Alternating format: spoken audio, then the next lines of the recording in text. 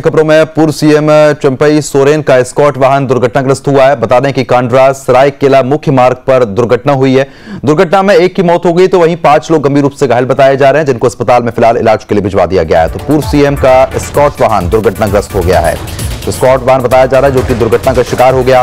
कांड्रा सरायकेला मुख्य मार्ग पर यह बड़ी घटना हुई है। इस हादसे में एक की मौत हुई है तो वहीं पाँच लोग गंभीर रूप से घायल बताए जा रहे हैं। घायलों को तुरंत अस्पताल में भर्ती करा दिया गया है, जहाँ पर उनका इलाज चल रहा है।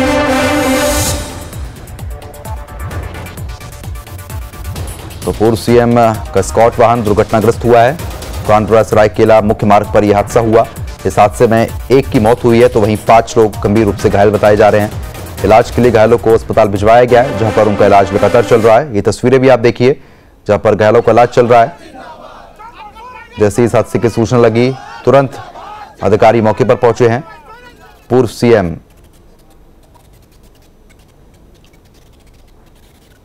उनका स्कॉट का वाहन बताया जा रहा है, जो कि दुर्घटना का शिकार हुआ।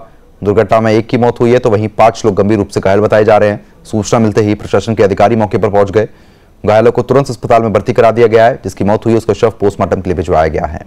तो कांड्रा, सरायकेला मुख्य मार्ग पर दुर्घटना हुई है, ये बड़ी खबर आपको बता रहे हैं। पूर्व सीएम चंपई सोरेन का स्कॉट वाहन दुर्घटनाग्रस्त हुआ है। संवाददाता सूरज एक बार फिर हमारे साथ जुड़ चुके अपडेट देने के लिए। सूरज जिस तरीके से पूर्व मुख्यमंत्री के जो वाहन थे, वो जो स्कॉट वाहन था, वो दुर्घटना का शिकार हो गया। क्या कुछ पूरा मामला है?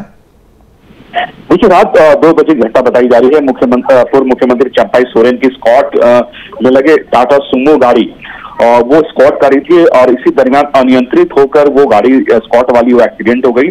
और उस एक्सीडेंट में कहा यह जा रहा है कि पूर्व मुख्यमंत्री चंपाई सोरेन के एक अंगरक्षक यानी बॉडीगार्ड उसी समय स्पॉट डेथ हो गई और कुछ बॉडीगार्ड घायल होने की खबरें आ रही है।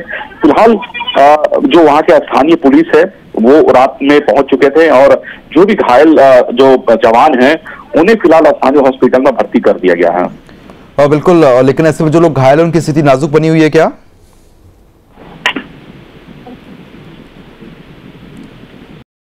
मेरी? आ, बिल्कुल प्रदुमन सवाल फिर से दोहराएँगे। जो लोग घायल है उनकी स्थिति नाजुक बनी है क्या? देखिए फ़िलहाल जो घायल की घायल जवानों की जो स्थिति है बिल्कुल खतरे से बाहर बताई जा रही है और लेकिन ये कह सकते हैं कि बड़ी दुर्घटना है और इस दुर्घटना में एक जवान की मौत हो गई है। ठीक है बहुत बहुत शुक्रिया तमाम